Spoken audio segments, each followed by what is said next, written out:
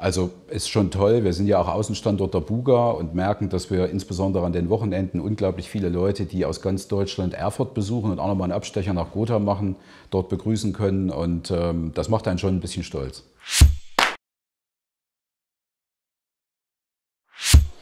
Also es geht bei uns jetzt äh, langsam wieder los im Orangeriefreundeverein. Wir haben uns äh, mittlerweile wieder treffen können zu Vereinssitzungen. Äh, in meinem Bürgerbüro gibt es mittlerweile auch wieder Karten für die ersten Weinlesungen. Eine Whisky-Lesung soll folgen.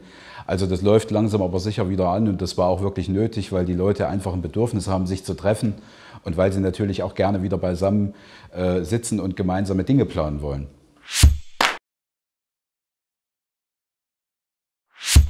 Das Kamelienhaus an sich kostet, ich sag mal netto 180.000 und ähm, da stecken noch ein paar Kosten mit drin, die so nicht erscheinen. Das waren Firmen, die uns die Planungskosten mit abgenommen haben.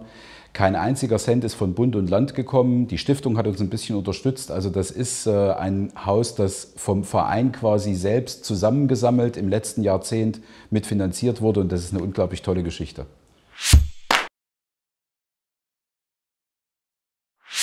Ja, jetzt haben wir ein schönes Haus, aber wahrscheinlich keinen Inhalt mehr, denn unsere Kamelien, sehr, sehr seltene Sorten, die wir ja auch in den letzten Jahren den Leuten immer präsentieren konnten, sind von einem sehr seltenen Virus befallen. Und der gesamte Pflanzbestand äh, ist in den letzten Tagen, wenn man so will, quasi verlustig gegangen. Und das ist natürlich ein Schock wir reden die ganze Zeit über ein Virus in unserer Gesellschaft, dass jetzt auch die Kamelien tatsächlich von einem auch befallen sind und wir mehr als 100 Pflanzen im Moment halt ähm, ja, uns von denen verabschieden müssen. Das ist schon ziemlich schwierig.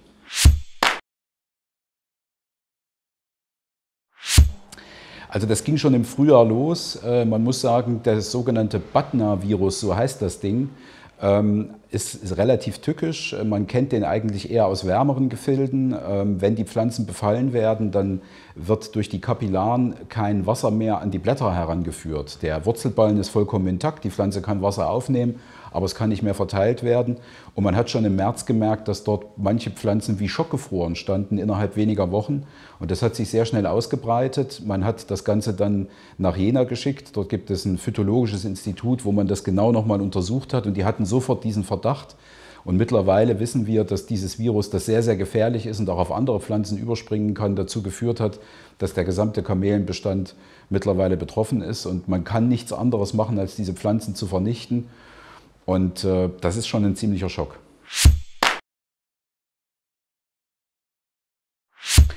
Nein, wenn das Virus sich einmal ausbreitet, im Internet findet man relativ wenig, aber die Fachliteratur sagt, das Biest ist sogar in der Lage, ganze Kakao- und Bananenplantagen zu vernichten. Ähm, dann gibt es keine Rettung und äh, wir wissen auch nicht genau, wie dieses Batna-Virus da reingekommen ist. Wir haben ja auch Schenkungen zum Teil von Pflanzen. Irgendwo wird es mal eingeschleppt worden sein und dann natürlich bei den besten Bedingungen, die die Kamelien hatten, eben auch in dem jetzigen Treibhaus, hat sich das irgendwann ausbreiten können und die Gefahr, jetzt eine Pflanze, die vielleicht noch okay ist, in den neuen Pflanzbestand, für den wir jetzt natürlich wieder sorgen müssen, da zu integrieren. Und dann kommt das Virus wieder, die ist natürlich sehr groß. Und deswegen müssen wir uns von allen Pflanzen verabschieden. Und das ist wirklich bitter.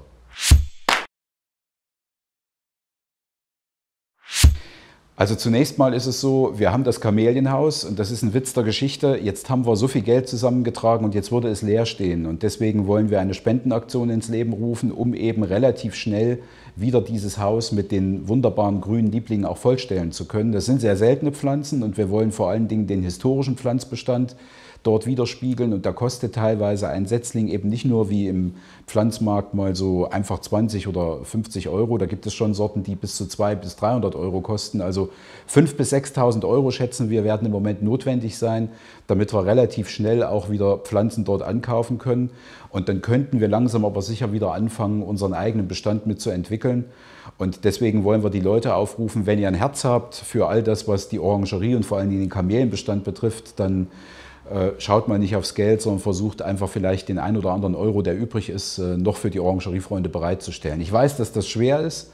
Die 180.000 sind ja auch durch die Bürgerschaft zusammengekommen im letzten Jahrzehnt. Aber ich glaube, diesen letzten Schritt müssen wir jetzt auch noch gehen.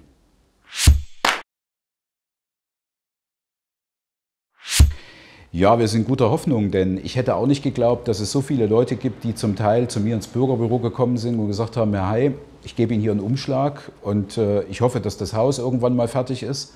Und dann machst du den auf und dann sind teilweise 2000 Euro drin. Also das ist nicht nur ein unglaublicher Vertrauensbeweis, sondern zeigt auch, die Leute haben wirklich ein großes Interesse.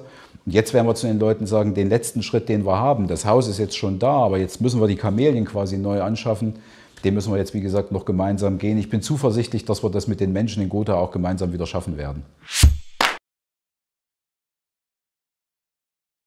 Naja, es ist so, ähm, man kann jetzt drüber lachen, aber diese fleißigen Leute wie zum Beispiel der Gernot Harnisch und der Jens Scheffler, die mit mir gemeinsam in den letzten zehn Jahren diese Führung gemacht haben, ähm, und ich muss das selber zugeben, wir kennen quasi jede einzelne Pflanze und so ein bisschen stehen einem fast die Tränen in den Augen, auch wenn das nur Pflanzen sind, aber zum Beispiel die, der Ableger der berühmten Pillnitzer Kamelie, den wir dort haben, wenn man weiß, das stirbt alles, das ist schon ein ziemlicher Schock.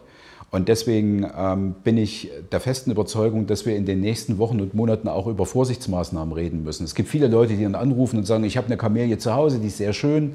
Und nehmen Sie sie doch, ähm, man könnte sich vorstellen, dass vielleicht als Zwischenschritt die Pflanze vielleicht irgendwo anders zunächst mal gelagert und beobachtet wird, gut gepflegt und wenn dann nichts ist, dann sie vielleicht zu integrieren. Aber wir müssen natürlich jetzt immer Vorsichtsmaßnahmen treffen, weil dieses Virus sehr, sehr aggressiv ist und wir natürlich nicht wollen, dass uns das ein zweites Mal passiert.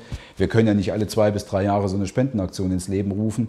Und deswegen müssen wir jetzt sehr genau schauen, wie die nächsten Schritte sind. Es sind Experten aus äh, Leipzig und aus Jena mit äh, dabei, die den Verein beraten wollen und auch die Stiftung Thüringer Schlösser und Gärten. Und deswegen müssen wir gucken, wie wir die nächsten Wochen dann auch so koordinieren können.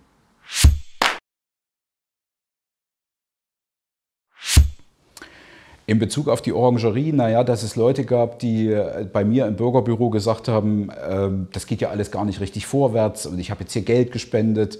Ähm, das war schon ein bisschen bitter, weil ich geglaubt habe, naja, sowas geht ja nicht von jetzt auf gleich, aber so seit ungefähr einem halben Jahr, seitdem die gesehen haben, da wird ein Fundament ausgehoben, da werden Wände hochgezogen, da gibt es eine Verglasung und man kann dran vorbeilaufen, ist die Stimmung eigentlich relativ gut. Also ich habe weniger Ärger als Freude. Aber was mich natürlich sehr ärgert, ist diese Geschichte mit dem Virus, weil das ja, also nicht nur in der Gesellschaft mit Corona, jetzt auch noch der Butner-Virus und der Orangerie, das ist das Letzte, was man brauchen kann, aber wir können es ja nicht ändern.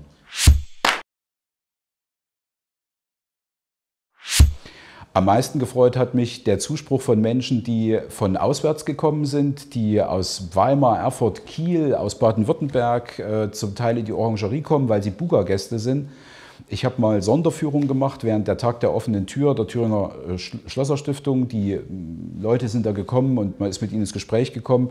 Und dass sie sagen, etwas so Tolles, so was liebevoll gepflegtes und dann auch noch dieses Haus, das ist ja, man muss es mal betonen, das europaweit einzige Haus, das als Neubau für Kamelien momentan überhaupt hochgezogen wird. Das hat die sehr beeindruckt. Und wenn man so viel Zuspruch von Menschen, die außerhalb von Gotha leben und zum ersten Mal hierher kommen kriegt, dann freut einen das schon sehr.